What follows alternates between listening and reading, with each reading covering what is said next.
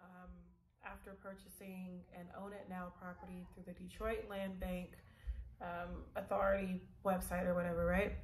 So first, I'm going to go over about how long the process took.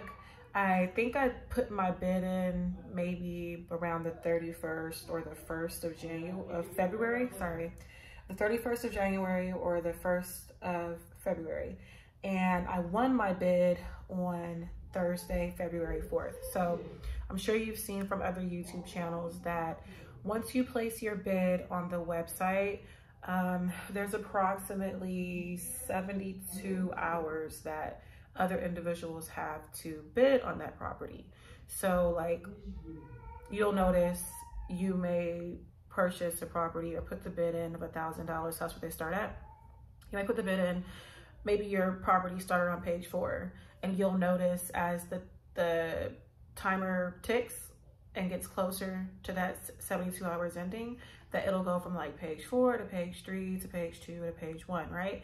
So that way it's more visible to more people and I assume it's so the land bank could has a higher chance of getting more money.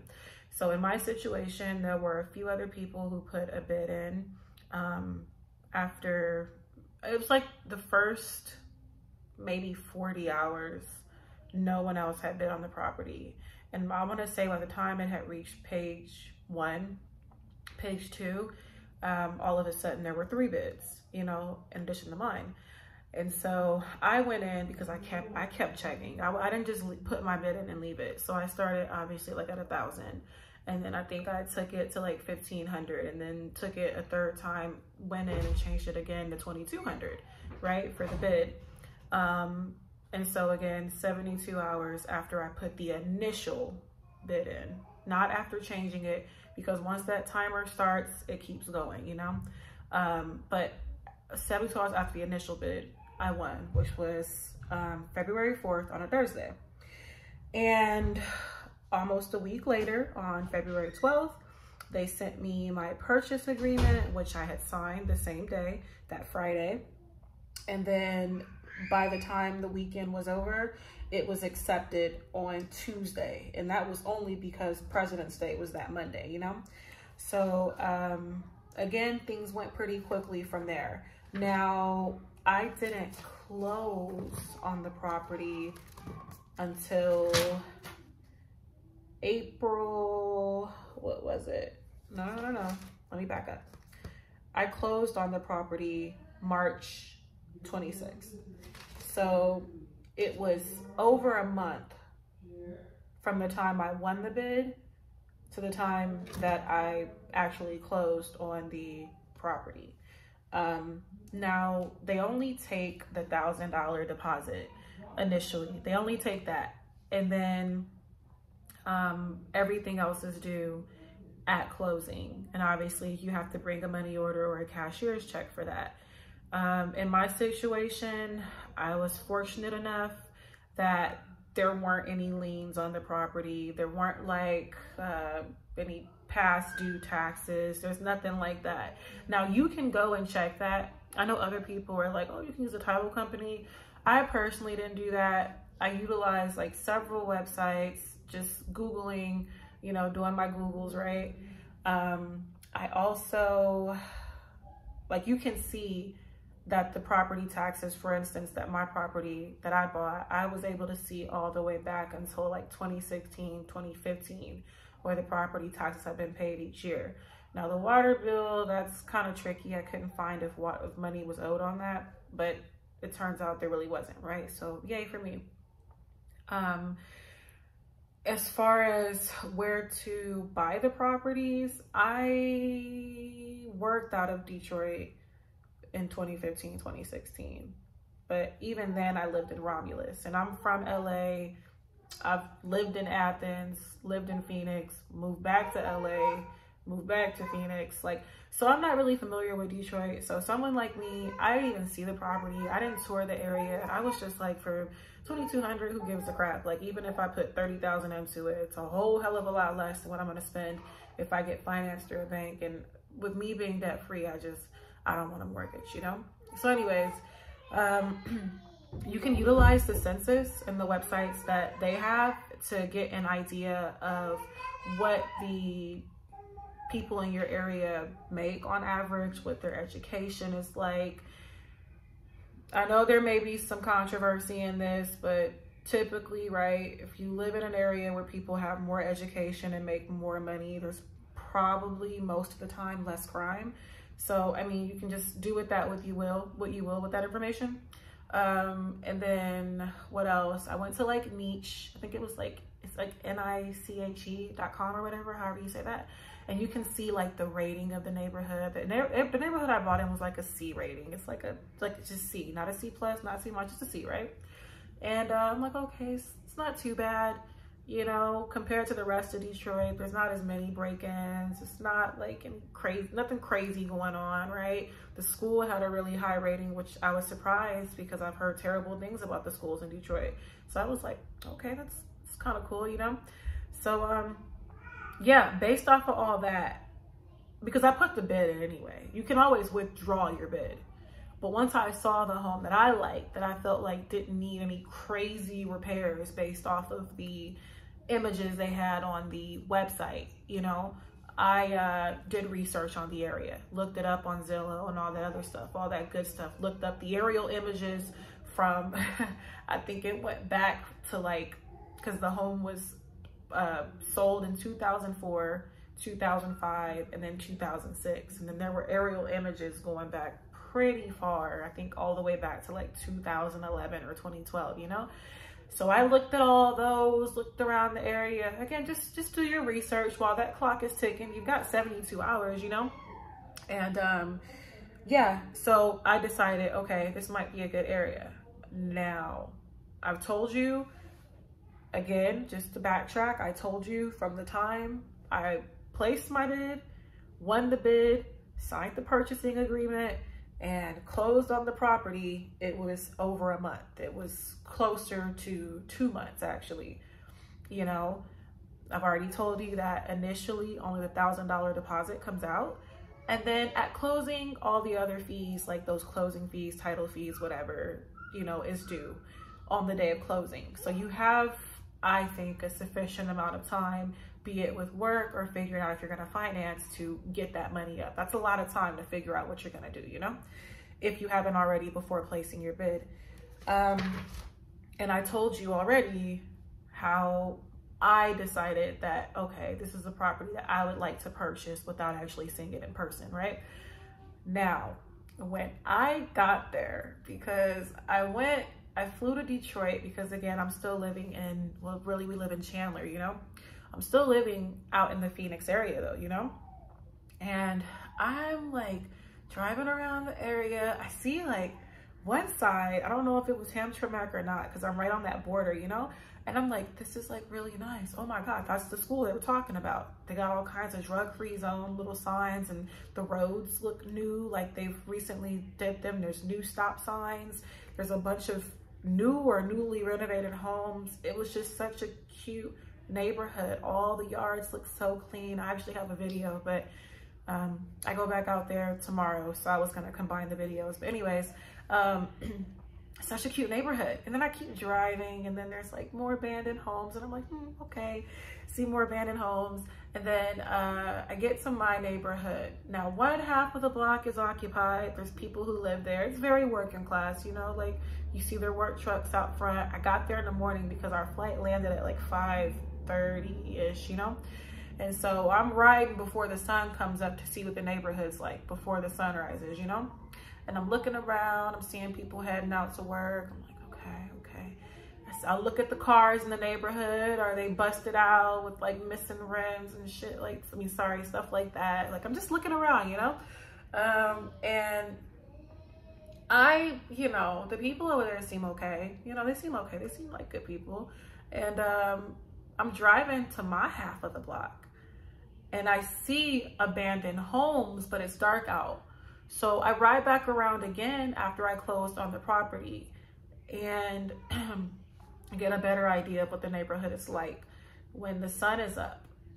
Um, so on the other street, just about all the homes are occupied. But on my block, half of them are and half of them are. With the exception of my house, obviously, and then one across the street, the other two across from me and two to my left, I noticed are being renovated. Um, there's new doors. One of them had new windows. You can tell where they just recently had done the yard and had everything backed up. So I was like, this is this is good, you know. I think right. Most of the street is occupied, and the homes that aren't, people are um, people are working on them. And uh, you know, uh, I'm looking at my house now. When I placed this bid, I was like, okay, we're gonna be cash flowing everything, so I didn't want anything too big. I'm like, okay, I'm purchasing a 1,158 square foot home, three bedroom, one and a half bath. I'm fine with that. You know, I think I think we can do that. And so I get there and I FaceTime Chin and I'm like, this is not this house is bigger than what they said. FaceTime my cousin. I'm like, I call my dad. I'm like, please pick up, please pick up. Like, this is not the house that the house looked the same, but it was significantly bigger than what the pictures on Zillow made it appear like and what the pictures and um, on the Detroit, like the land bank, you know, website, whatever made it look like. So I have the guys the day after I close, I meet up with the landscaper. I'll get to that next. And then have some guys come and clean out whatever furniture was in there and the old toilets and the vanities, right? Because I'm just, I'm that kind of person, like, you know. And so um, I go inside. There is a separate living room, a separate dining room with a beautiful archway. I mean, you just, I love old homes. So, but you just don't see architecture like homes designed this way anymore. You don't beautiful archway leading into the kitchen. And then there's behind that, there's a room, one room, a bathroom, a room, then obviously the hallway, living, dining, and then kitchen, all separate, which I like, you know. I don't like to see, I don't want my guests to see me preparing the food. Right now we have like a very open concept with like a huge island and you know, so it's, I just, you know, I like to have my guests in one place and then I can prepare and plate everything somewhere else. You know, I don't want them to see that process. And so, um, so yeah, uh, I'm looking like, well, there, there's clearly an upstairs. Where's the third bedroom at, right? It's gonna, gonna be one huge freaking bedroom because clearly this house is already larger than the square footage they listed. So apparently you go to the kitchen, there's a door on the left, right? You have to go up some stairs. I get upstairs, there's three bedrooms upstairs, a full bath, and then what I'm assuming might be like a loft type area. So it's a five bedroom and then there's a half bathroom in the basement. So I thought I got a three bedroom, one and a half bath. No, no, no. I now have a five bedroom, two and a half bath with a loft and the basement is fully finished. So um, just something to be aware of. I mean, this might seem like common sense to y'all, but it wasn't so common to me because, you know, that house was not what they described on the Detroit Land Bank Authority, whatever website. Um, but ultimately, you know, I, I feel really good about it the schools in the area were decent. I was just going to use it for work. My family's going to stay here. Um, and then I'll be the one to commute to Detroit. But when they're in town, you know, obviously the kids and Chin, they'll have somewhere to stay. But I was just going to use it while I'm working since I'll be commuting to work. But I'm not sure what I'll do with the other rooms when my family's not there. But yeah, so yeah, just, just be aware of that, you know, what you see on there may not be what you get. Another example of that is uh, the landscaping. So people have been dumping on the property. There was a lot of crack grass. There was a lot of like trees and brushes and stuff growing around the house. And the trees in the front that are on the sidewalk um, had overgrown over the roof. And one like you see there's two holes in the roof from the trees. They had grown out so much. They knocked out the windows up front. Um it, it was just massive. So i you know there's three trees that have to be trimmed in the front yard. Like have to because you guys will see the video. I'm gonna record it. It's just so bad you know the landscaping is just terrible and i remember telling my dad and telling chen like how is like how is the landscaping costing more than what the windows are going to cost, you know?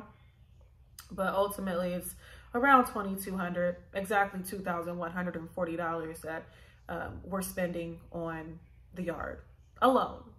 And, you know, within 15 days of closing, they want a picture of all four sides of the property, um, of all four sides of the property um, with it boarded up and showing that the yard is free of like debris and things of that nature, you know, with people dumping all this wood and branches and other waste on the property, we have to clean that up in addition to taking care of the trees, you know, so that way it doesn't take off half the roof, you know, or the porch. And um, surprisingly, the porch is in really good condition. I mean, there was no foundation issues. I was so surprised whoever built that house built it very well or the people who built it did such an amazing job to where the brick for for it to be abandoned or maybe the previous homeowner took good care of it like even the front door the front door is super the front door is the same door the house was built in 1924 1923 it's the same door that they've had the whole just very old beautiful antique door so we're trying to find a way to keep it or salvage it because it's just such a beautiful door. Um, but anyways, never besides that. Um, but uh, yeah, they want pictures of all four sides of the property from the yard to the window, free of everything, you know, no trash, nothing like that, whatever, right? Which um, my rep, the lady who's working with me um, on the compliance, because they do have deadlines, but I told her, I'm like, look, this is a really extensive um, the, the yard work needed on this property is quite extensive and it's going to be expensive, you know? And she's like, well, you know, that's fine. I'll count it because it's so much money. She'll count it towards my 30 day. And then after that, she wants me just to worry about the water and getting the water turned on and the inspection. And I was like, okay, cool. So if you communicate with them, they just want to see some progress you know, just communicate with them. If you have something come up, you know, for me, I think we budgeted out 600 to a thousand dollars on yard work. And obviously we're spending more than that. So, um, next we wanted to do windows, which we still may do.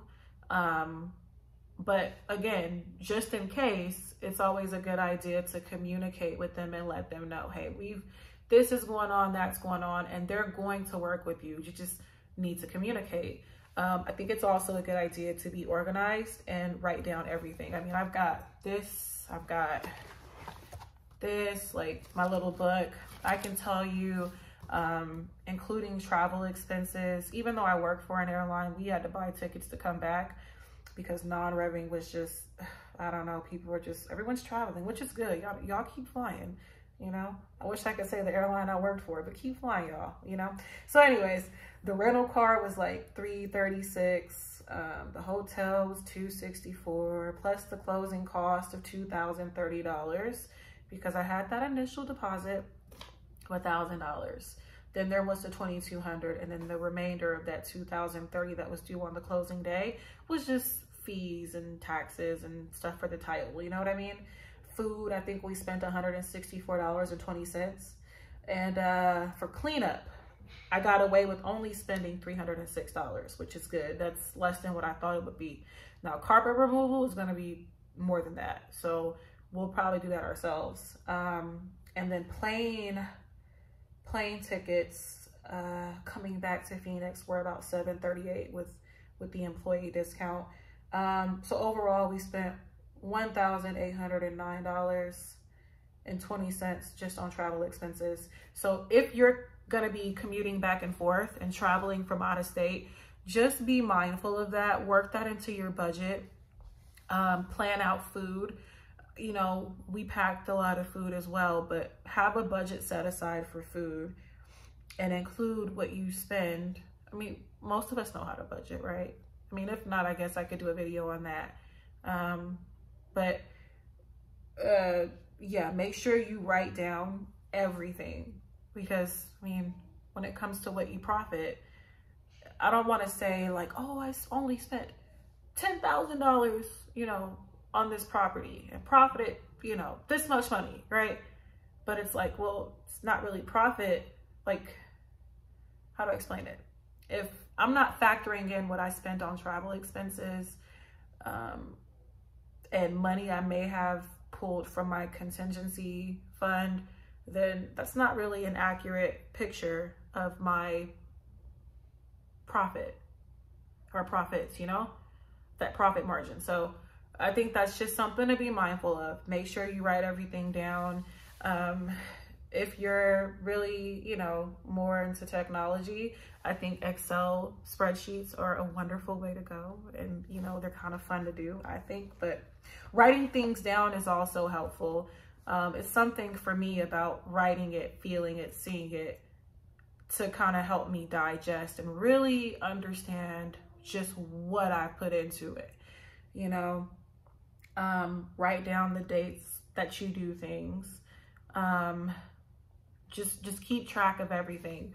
Um, if you have an office, that helps. But I mean, even for me, like no one really goes in my beauty area, like where my vanity and stuff is at. So I keep my things over there as far as um, finances might go.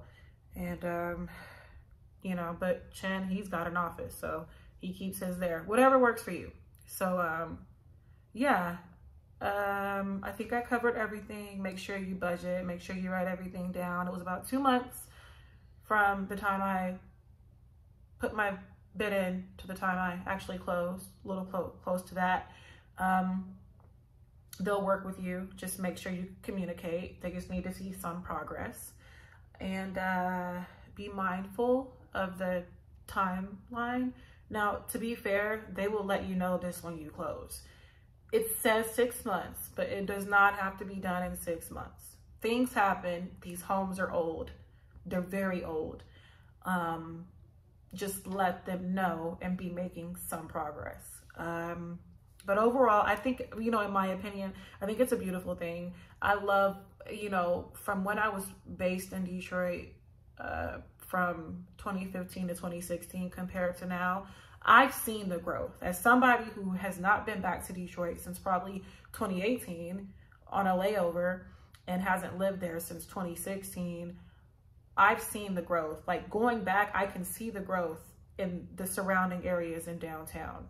Um, and I think it's great that there are people who are coming in and cleaning up the community and you know, it's creating opportunity and uh, with all these out of towners coming in, such as myself, I mean, think about how much more work these, um, these, uh, uh, contractors and landscapers and, and, and electricians and roofers and plumbers are getting that they otherwise may have not gotten. And it's just nice to see that, um, people are supporting the local economy and it's just, it's doing such, I, I think, great things for the city.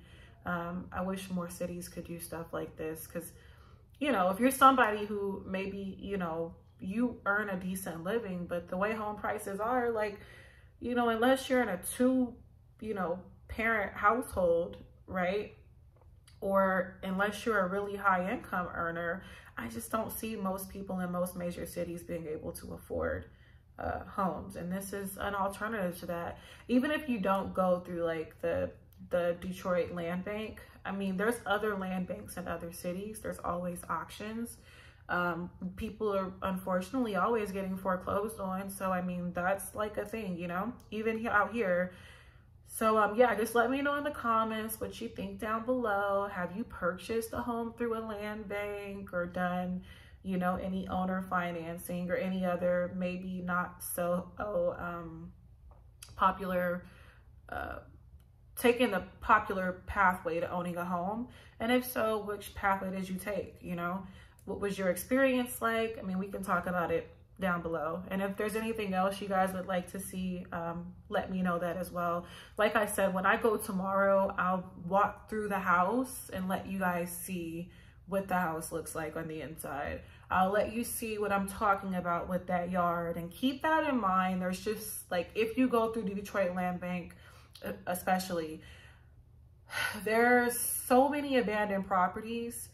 Yeah, they're gonna board them up. They're supposed to keep up the yards, but the reality of it is there's tens of thousands of abandoned properties. So the likelihood of them maintaining that property, the yard, the way they should, it's probably not happening. So be prepared for that expense because that is something that you will have to do within the first 15 days. I don't think there's any way around that. You have to take care of that yard and anything that's in it in the first 15 days and you have to board it up. If nothing else, you have to do that. But yeah, we'll chat down in the comments below and uh, thank y'all for watching my video.